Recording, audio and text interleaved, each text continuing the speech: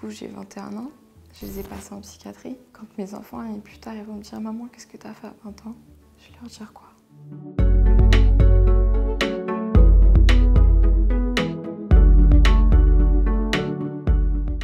Euh, Nous sommes rencontrés, moi et un footballeur professionnel, sur les réseaux sociaux, sur Instagram. De là a commencé une relation euh, assez euh, fusionnelle. Au début, j'étais réticente, mais plus les jours passaient, et plus en fait, ben, j'ai fini par m'attacher. Du coup, on a décidé de se rencontrer. De là, une relation, euh, on va dire magique. Je me sentais très bien à ses côtés et me présenter comme sa femme. J'ai commencé à voir qu'il y avait beaucoup de mensonges par rapport au comportement et euh, j'ai compris qu'il voyait euh, des escortes et qu'il avait toujours une liaison avec la mère de ses enfants. J'ai décidé de mettre fin à notre relation. J'ai dit que c'était terminé. Il m'a insulté, il m'a dit ok bah dégage, j'en ai rien à foutre de ta gueule. Et quelques minutes après, me rappelle, il me dit euh, non Emma, pars pas, reste avec moi, j'ai besoin de toi dans ma vie. Et il me dit demain tu viens me voir.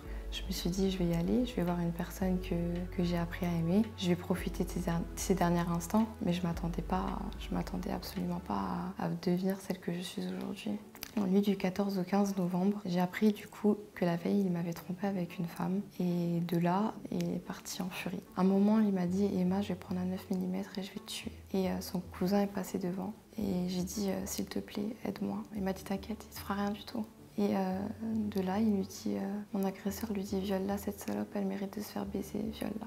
J'ai même pas les mots pour expliquer à quel point c'est psychologiquement, c'est tellement difficile. Je suis enfermée dans son appartement, deux hommes, personne qui m'aide. Il m'a il étranglé, il m'a pris le visage, il m'a littéralement mis à tabac. Il demande à son cousin de ramener euh, du feu pour tenter de m'immoler, de me brûler à vif. Et de là, je me dis, Emma, ta vie, elle se joue maintenant. Je me rappellerai toute ma vie de cette sensation où j'ai touché euh, cette poignée et que j'ai ouvert et que j'ai sauté l'objectif de survivre, de courir, d'appeler à l'aide, sauf que j'avais pas conscience de la hauteur et j'étais au sol, en sang, impossible de bouger. Quand je suis partie euh, à l'hôpital, on, a, diagnostiqué du coup ben, que j'avais la fracture du calcanéum, je n'ai plus de talon.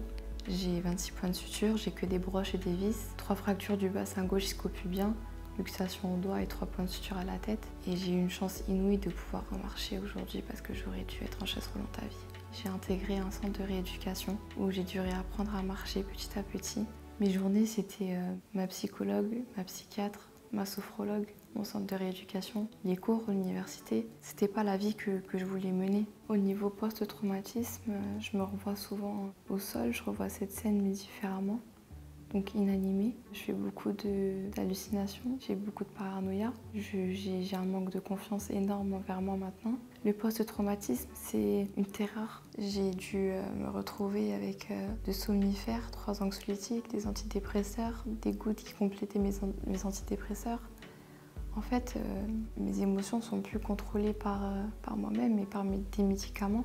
Et euh, actuellement, je suis toujours en psychiatrie. C'est très difficile parce que je suis entre quatre murs. Je suis une fille qui a jamais voulu perdre la vie et je suis entourée de personnes qui, eux, veulent perdre la vie. Donc il y a aussi un très gros décalage par rapport à ça. En fait, inconsciemment, ils me donnent leurs ondes. C'est comme si on était dans une soirée, que tout le monde euh, était là, était triste. Et moi, je suis là, j'ai envie de danser.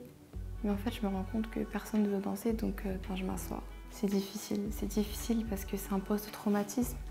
C'est pas comme si j'étais euh, en dépression parce que, parce que je voulais perdre la vie. Non, je suis en dépression parce que on me l'a ôté. Je me vois pas être dehors. Je suis encore incapable.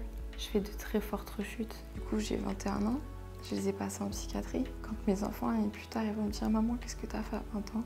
Je vais leur dire quoi? C'est grave à quel point l'être humain peut devenir inhumain. J'ai pas peur des répercussions. Quand j'ai porté plainte, euh, ça a été justement parce qu'il y a beaucoup de femmes qui n'osent pas le faire.